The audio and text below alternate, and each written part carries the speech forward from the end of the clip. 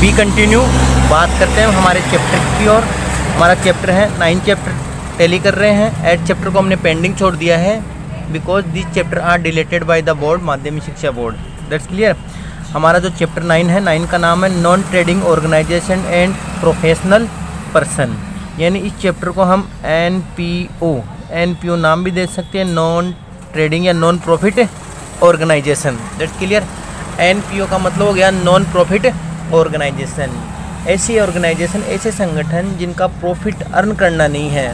Only for social service यानी बहुत सी ऐसी ऑर्गेनाइजेशन है जिनका जो मेन ऑब्जेक्ट होता है सोशल सर्विस करना होता है। तो आज इसके हम non trading organisation and professional जो पर्सन है, उसकी डेफिनेशन पढ़ेंगे। उनमें उसमें कौन कौन से टॉपिक्स है, उस टॉपिक्स को यहाँ पे टेली किया जाएगा। दैट्स क्लियर तो हम आगे बढ़ते हैं।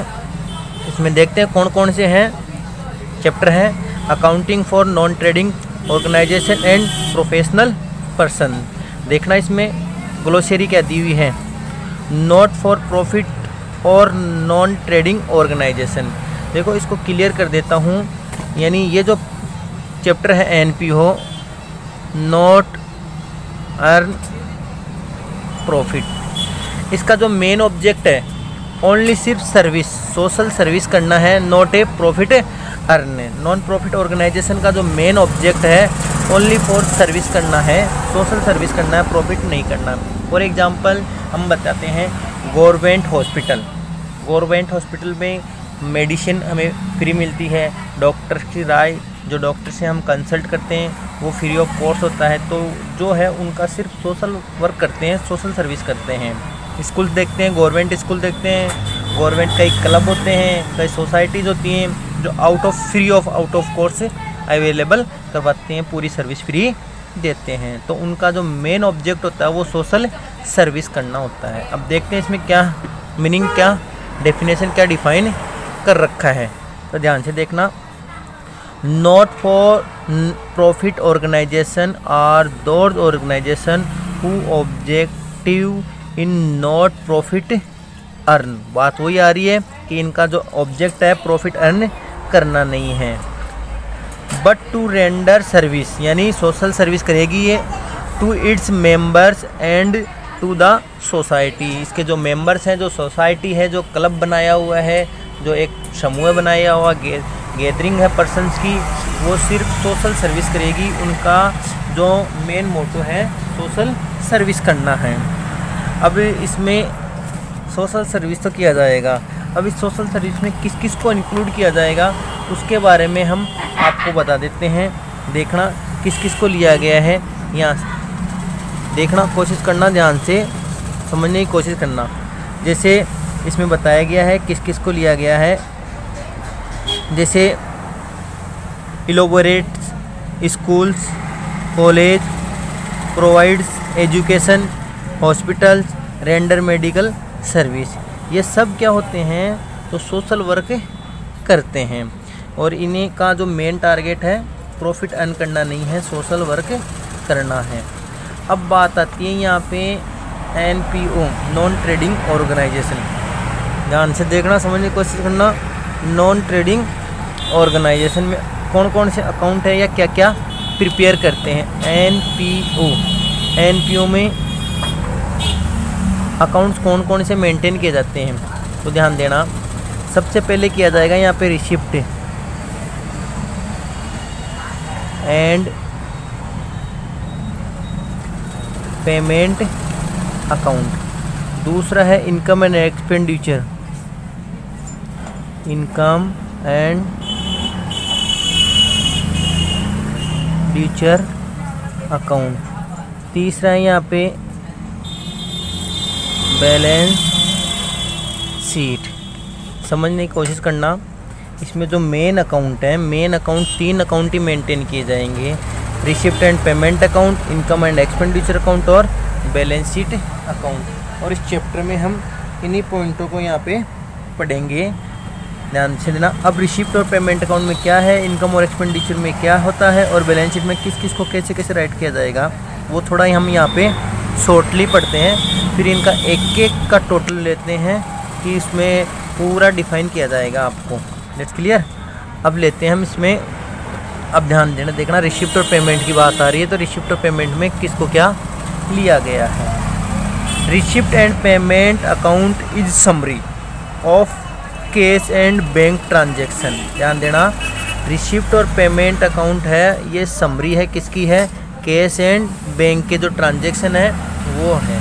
That's clear prepare at the end of accounting period जो एक अकाउंटिंग पीरियड होता है, उसके एंडिंग में इसको प्रिपेयर किया जाएगा। It's records all receipt and payment whether of revenue और capital nature and irrespective of the period to which the related. यानी कहने का मतलब क्या है? ध्यान देना, रिसिप्ट और पेमेंट अकाउंट किससे रिलेटेड है? Cash and bank transaction. Cash and bank transaction से क्या है ये? रिलेटेड है। इसमें जितने भी बैंक और केस से रिलेटेड ट्रांजैक्शन है, वो इन है। अगर इन हो रहे हैं तो उसको लिखा जाएगा रिसिप्ट साइड। और अगर पेमेंट आउट हो रहा है, यानी ध्यान देना केस केस की बात हो रही है केस इन हो रहा है तो रिसिप्ट साइड हो गया, और केस क्या हो रहा है आउट हो रहा है तो ये किस साइड रिकॉर्ड किया जाएगा? पेमेंट साइड रिकॉर्ड किया जाएगा। अब इसमें बात आ रही है कौन कौन से ईयर के किए जाएँगे? करंट ईयर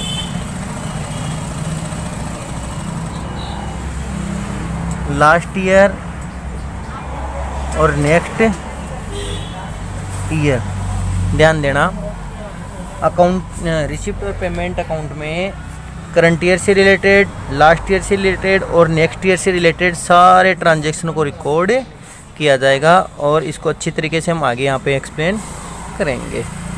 बात करते हैं हम आगे की ओर चलते हैं। इनकम एंड एक्सपेंडिचर अकाउंट ये क्या है? Income and expenditure account is the summary of income and expenditure for the year कहने का मतलब क्या कह रहा है? इनकम और एक्सपेंडिचर है, इसमें एक समरी लिया जाएगा, कितना इनकम हुआ और कितना एक्सपेंस हुआ। ध्यान देना, पढ़ा जाएगा इनकम एंड एक्सपेंडिचर देखना। इनकम और एक्सपेंडिचर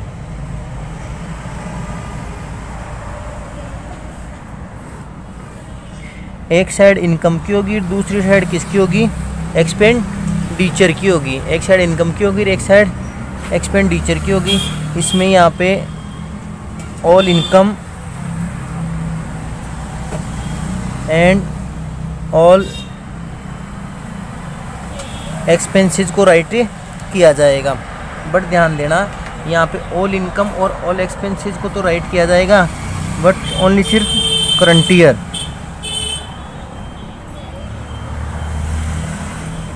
करंट ईयर से रिलेटेड जो भी इनकम और एक्सपेंस है, सिर्फ़ उसी को यहाँ पे राइट किया जाएगा। लास्ट ईयर और नेक्स्ट ईयर से रिलेटेड कोई भी जो आइटम हो, उसको यहाँ पे रिकॉर्ड नहीं किया जाएगा। ध्यान देना, इससे पहले हमने क्या पढ़ा था? जो हमारा था रिसिप्ट एंड पेमेंट अकाउंट में कैश एंड बैंक से ट्रांजेक्शन लिखे गए थे। करंट ईयर से रिलेटेड नेक्स्ट ईयर से रिलेटेड और लास्ट ईयर से रिलेटेड लिखे गए थे। बट यहाँ पे रिसिप्ट इनकम और एक्सपेंडिचर में सिर्फ़ करंट ईयर से रिलेटेड इनकम और एक्सपेंस को यहाँ पे राइट किया जाएगा। दैट्स क्लियर इसको भी हम डिटेल से यहाँ आगे पढ़ेंगे। अब बात करते हैं हम यहाँ पे आगे इसमें। देखना, क्या कह रहा है ये?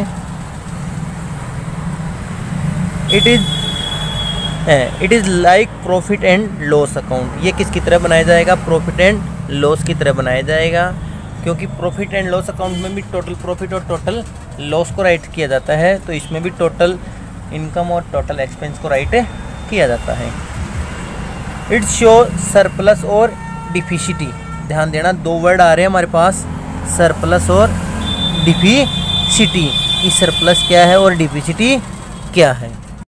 यहाँ हमारे सामने सरप्लस और डिफिसिटी दो वर्ड आ रहे हैं। ध्यान से देखना। एक तो सरप्लस। सरप्लस आया और एक डिफिसिटी आया। सरप्लस को बोला जाएगा यहाँ पे आधिक्य क्या बोला जाएगा यहाँ पे? आधिक्य और डिफिसिटी का मतलब हो गया कमी। सरप्लस और डिफिसिटी कौन एक्स किसके से निकलेंगे इनकम और एक्सपेंडिचर जो अपना अकाउंट प्रिपेयर करेंगे, उसका जो डिफरेंट आएगा, उसमें सरप्लस और डिफिसिटी आएगा। ध्यान देना, दो चीज़ थी हमारे पास। एक इनकम था और एक्सपेंस एक तो इनकम था और एक एक्सपेंस था। सपोज़ करना हम, जब हम टोटल करते हैं, एक तो टेन थाउज़ेंड और एक एट थाउज़ेंड है। इनकम हमारी टेन थाउज़ेंड है और एक्सपेंस हमारा एट थाउज़ेंड है। इन दोनों में हमारे पास यहाँ टू थाउज़ेंड का डिफरेंट आ रहा है। ध्यान से देखना, टू थाउज़ेंड का। अब टू थाउज़ेंड बैलेंस किधर बचा? Income side income side balance बचा कि दो हज़ार इनकम के ज़्यादा हैं तो इनकम का ज़्यादा होने का मतलब यहाँ क्या आया? सरप्लस इनकम का मतलब होने के क्या होया सरप्लस और इस टू थाउज़ेंड को कहाँ राइट किया जाएगा? टोटल करने के लिए कि टोटल कितना होना चाहिए? टेन थाउज़ेंड होना चाहिए। टोटल टेन थाउज़ेंड इसका मतलब income more than for expenses income more than for expenses income ज़्यादा है एक्सपेंसिव अब बात करते हैं हम यहाँ पे। टेन थाउज़ेंड ये दे रखा है। टेन थाउज़ेंड क्या दे रखा है? इनकम दे रखा है। और यहाँ पे एट्टीन थाउज़ेंड हमारा एक्सपेंस है। एट्टीन थाउज़ेंड एक्सपेंस है। तो इस इनकम और एक्सपेंडिचर में कितने का डिफरेंट आ गया है यहाँ पे? एट थाउज़ेंड का। एट थाउज़ेंड क्या बच रहा हमारे पास? एक्सपेंस तो क्या हो गया? Expense more than for income अगर इनकम से एक्सपेंस ज़्यादा है एक्सपेंस क्या है? मोर देन है तो हमारे पास यहाँ पे आएगा डिफिसिटी क्या आएगा? डिफिसिटी होगा। ठीक है? और डिफिसिटी का मतलब हो गया एक्सपेंस ज़्यादा है। यानी एक्सपेंस ज़्यादा और प्रॉफिट कम है। दैट्स क्लियर अब हम पढ़ते हैं कि इनकम और एक्सपेंस टीचर में जो डिफरेंट आया था, उसको सरप्लस और डिफिशिटी कहा गया है। दैट्स क्लियर अब देखना क्या आएगा। It is prepared on accrual basis of accounting accrual का मतलब हो गया जितना हमने अर्न कर लिया है। पहले बताया था मैंने इनकम और एक्सपेंडिचर करंट अकाउंट से रिलेटेड ही है। Not a last year and not a next year यानी करंट ईयर से रिलेटेड जितनी भी अकाउंट आएगी, उन्हीं को इसमें रिकॉर्ड किया जाएगा। दैट्स क्लियर बात करते हैं अब सरप्लस की। सरप्लस क्या है? देखना, जो बोला गया था, जो बताया गया था, अभी वही है। Excess of income income excess है ओवर एक्सपेंडिचर यानी इनकम एक्सेस है, किससे एक्सेस है? एक्सपेंडिचर से। Of a not profit organisation is termed as surplus यानी उसको प्रॉफिट नहीं मान करके उसको क्या माना जाएगा? सिर्फ़ सरप्लस माना जाएगा कि यहाँ एक्सेस है इनकम एक्सेस है एक्सपेंस है तो उसको प्रॉफिट नहीं अर्न किया जाएगा, माना जाएगा, उसको सिर्फ़ सरप्लस माना जाएगा। दैट्स क्लियर बात करते हैं डिफिसिटी की। डिफिसिटी क्या है? Excess of expenditure expenditure excess है किससे? ओवर इनकम से। Of not for profit organisation ये भी क्या? प्रॉफिट नहीं माना जाएगा या लॉस नहीं माना जाएगा। इज़ टर्म्ड एज डिपिसिट इसको क्या माना जाएगा? कि शिप डिपिसिट यानी कमी है।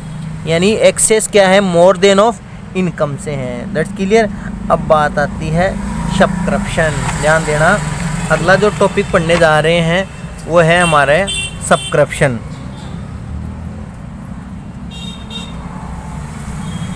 सब्सक्रिप्शन सब्सक्रिप्शन का मतलब हो गया चंदा। सब्सक्रिप्शन का मतलब हो गया चंदा। भैया, इस चैप्टर में हमें यहाँ स्टार्टिंग में सब्सक्रिप्शन पढ़ने को मिलेगा और सब्सक्रिप्शन को आप अच्छी तरीके से समझने की कोशिश करना। अभी यहाँ सिर्फ़ सब्सक्रिप्शन की डेफिनेशन को डिफ़ाइन किया जाएगा। आगे जाके हम सरप्लस सस्पेंस इसका सब्सक्रिप्शन के बारे में अच्छी तरीके से पूरी डिटेल यहाँ पे बताई जाएगी आपको। दैट्स क्लियर अब जैसे कोई भी ऑर्गेनाइजेशन को चलाने के लिए कोई भी संगठन है, कोई भी गवर्नमेंट सोसाइटी है, स्कूल है उसको चलाने के लिए यहाँ पे सब्सक्रिप्शन की बहुत ही नीड होती है। फॉर एग्जांपल, जैसे गवर्नमेंट स्कूल है, वो जर्जर अवस्था में है, जिसकी बिल्डिंग ख़राब हो गई तो हम क्या करते हैं, जो गाँव के, जो शहर के सेठ लोग होते हैं, भामाशाह होते हैं, उनको हम भामाशाह बनाते हैं, यानी उनसे हम पैसा कलेक्ट करते हैं और यहाँ पे government hospital, government society, government school, government और भी क्लब है, उनमें यहाँ पे इन्वेस्ट इन्वेस्ट क्या, उनमें यहाँ पे एक्सपेंस किया जाता है और उसको डेवलप किया जाता है ताकि वह ज़्यादा से ज़्यादा लोगों के लिए सर्वाइव हो सके, अच्छी सर्विस प्रोवाइड की जा सके। तो वही है यहाँ पे सब करप्शन ध्यान देना सब करप्शन क्या है? देखना इसको। अमाउंट रिसीव्ड क्या कह रहा है? Amount received on an annual basis at the time of renewal of the membership by a not profit organization is called subscription कहने का मतलब क्या हो गया? शब करप्शन एक मिनट। बात करते हैं हम आगे। लेगेसी ध्यान देना। लेगेसी यानी वसीयत। लेगेसी यानी वसीयत। अब वसीयत के नाम से तो समझ ही गए होंगे आप। कि वसीयत यानी पुरातत्व यानी पुराने समय से हमारे पास चली आ रही है। जैसे हम बात करते हैं, दादा दादा से मिला पिता को, पिता से मिला पुत्र को। ये एक वसीयत है, असेट्स है। ठीक है? जैसे हम बात करते हैं लैंड की बात कर ली बिल्डिंग की बात कर ली। ये लैंड है हमारे पास, पहले हमारे दादा के पास थी, दादा से कहाँ पे आई? पिता के पास आई, पिता के से कहाँ आई? पुत्र के पास आई। दादा की डेथ होने पे पिता के पास, पिता की डेथ होने के बाद पुत्र के पास। जो एक करंट में, एक अपने परिवार में जो चलती रहती है, वही क्या हो गई? हमारी लेगेसी हो गई। तो ये किसी जो पर्सन होता है डिस्केज होने पे या डेथ होने पे ही आगे से आगे ट्रांसफ़र होती रहती है। तो देखना लेगेसी क्या कहती है? Legacy is the amount. Received by an organization from the deceased person. कहने का मतलब हो गया, ये जो लेगेसी है, हमारे पास लैंड थी और हमने, हमारे दादा की लैंड थी। अब इस लैंड को हमने यहाँ पे गवर्नमेंट में थ्रू कर दी या किसी पब्लिक सोसाइटी में थ्रू कर दी या जो भी क्लब है, जो सर्विस करता है प्रोवाइड करवाता है सोशल सर्विस करवाता है, उसको हम यहाँ पे प्रोवाइड करवा देते हैं तो वो क्या हो जाएगी? लेगेसी हो जाएगी। यानी किसी भी पर्सन के डेथ होने पे या डिस्केज होने पे, उसके द्वारा किसी क्लब को, किसी गवर्नमेंट सोसाइटी को जो रिसीव्ड होता है, वही क्या होगी यहाँ पे? लेगेसी होती है। दैट्स क्लियर आगे बात करते हैं हम डोनेशन की। देखना डोनेशन की बात की जा रही है यहाँ पे कि डोनेशन क्या है, देखना। डोनेशन यानी दान डोनेशन यानी किसी पर्सन के द्वारा, किसी पर्सन का जो गेटेड समूह है, उसके द्वारा जो सोशल वर्क करते हैं, उनको जो मिलता है अमाउंट उसको क्या बोला जाएगा यहाँ पे? डोनेशन बोलते हैं। डोनेशन टू टाइप का है यहाँ पे। एक तो जनरल डोनेशन एक तो कौन सा हो गया? जनरल डोनेशन और एक स्पेशल स्पेशल डोनेशन। ध्यान देना, जनरल डोनेशन और स्पेशल डोनेशन को समझने की कोशिश करना। सपोज़ कि हमने गवर्नमेंट स्कूल में, गवर्नमेंट हॉस्पिटल में कुछ अमाउंट डोनेट की, या कुछ लैंड डोनेट किया, या कुछ फर्नीचर डोनेट किया। ध्यान देना, लैंड हो गया, फर्नीचर हो गया, प्लांट हो गया बिल्डिंग हो गया, केस हो गया, इनमें से कोई भी पार्ट होता है जो डोनेट किया जाता है बाय द डोनर और उस डोनर ने, वो डोनर कुछ भी नहीं कहता कि मेरे द्वारा ये आपको डोनेट किया गया है, आप किसी भी यूज़ में कर सकते हैं पर्टिकुलर किसी वर्क में यूज़ नहीं करना, आपके हिसाब से यूज़ किया जाएगा। तो ऐसा जो डोनेशन क्या कहलाएगा? यहाँ पे जनरल डोनेशन कहलाएगा। दैट्स क्लियर यानी land building furniture plant cash है, जो गवर्नमेंट है, वो अपने हिसाब से कहीं भी यूज़ कर सकती है। तो वो होता है हमारे पास जनरल डोनेशन अब बात आती है स्पेशल डोनेशन देखना स्पेशल डोनेशन क्या है? स्पेशल डोनेशन का मतलब हो गया, कोई भी स्पेशल वर्क के लिए डोनर के द्वारा जो डोनेट किया जाता है, वही स्पेशल डोनेशन हो गया। जैसे हमने लैंड डोनेट की या किसी पर्सन से लैंड डोनेट हुई है तो इस लैंड के लिए वो ये सिर्फ़ यही कह रहा है गवर्नमेंट को कि इस लैंड पे यहाँ पे सिर्फ़ स्कूल ओपन होनी चाहिए। एक गवर्नमेंट सोसाइटी की या कोई ट्रस्ट की स्कूल ओपन होनी चाहिए, जिससे गरीब बच्चों को आसानी से एजुकेशन उपलब्ध हो सके। दैट्स क्लियर तो वो एक स्पेशल काम हो गया। दैट्स क्लियर देखना इनकी क्या डेफिनेशन बन रही है यहाँ पे। जनरल डोनेशन की है। When the donor does not specify any condition ध्यान देना, कोई भी कंडीशन नहीं देता donor for using the amount of donation यानी कोई डोनर है, वो कोई कंडीशन नहीं रखता कि कोई इसी स्पेशल वर्क के लिए ही मेरे डोनेशन जो भी दिया है उसको यूज़ किया जाएगा। It is known as general donation. अगर वही बात आ रही है स्पेसिफिक या स्पेशल डोनेशन क्या है? It is the donation is for a specific या स्पेशल पर्पज़ के लिए shape for the construction of a room और पेवेलियन यानी कहने का मतलब है, कोई डोनर है, वो जो लैंड दे रहा है, जो बिल्डिंग दे रहा है रूम बना के दे रहा है पेविलियन करके दे रहा है, कि इसका एक स्पेशल वर्क ही है स्पेशल जो पर्पज़ है टारगेट है, वो ही कंप्लीट होना चाहिए।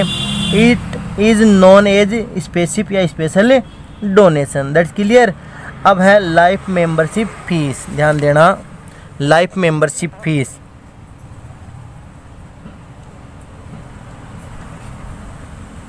life membership fees life membership fees का मतलब होता है कि जो भी मेंबर बनेगा यहाँ पे, जो भी क्या बनेगा? मेंबर बनेगा, उस मेंबर से लाइफ में सिर्फ़ एक ही बार, यहाँ पे एक ही बार फ़ीस रिकवर की जाएगी, उसे बोला जाएगा लाइफ मेंबरशिप फ़ीस बार बार कोई भी मेंबरशिप फ़ीस लिए नहीं जाएगी। देखना लाइफ मेंबरशिप फ़ीस क्या है? इट इज़ द अमाउंट ऐसी अमाउंट रिसीव्ड फ्रॉम मेंबर जो मेंबर से रिसीव्ड हो रही है इन लमसब यानी लमसब लगभग for which he is given the membership of the organisation for the whole life यानी पूरे जीवन पे। यानी एक बार ही दे दी जाएगी, जैसे ए पर्सन है, यहाँ पे ए पर्सन है, इसने five thousand fifty thousand fifteen thousand जो भी है, यहाँ पे पूरे जीवन पे उसने अपनी लाइफ मेंबरशिप फ़ीस पे कर दी जाती है होल लाइफ पे, पूरे जीवन पे। तो ये होगी life membership fees that's clear हमने यहाँ पे जो ऑर्गेनाइजेशन था, N P O non profit organisation था, उसके जो मीनिंग्स थे, जो उसके वर्ड्स आ रहे थे, जो मेन मेन जो टॉपिक थे, उसको अभी रफली यहाँ पे आपको एक समरी बताई है। अब हम आगे नेक्स्ट वीडियो में एक एक पॉइंट का डिटेल से टेली करेंगे, आपको एक्सप्लेन करेंगे। तब तक के लिए आप इस जो जो टॉपिक पढ़ाया गया उसको आप अच्छी तरीके से देखें, पढ़ें और समझने की कोशिश करें। फिर भी अगर कोई प्रॉब्लम है तो मुझे कमेंट्स बॉक्स में कमेंट ज़रूर करें। Thank you thank you so much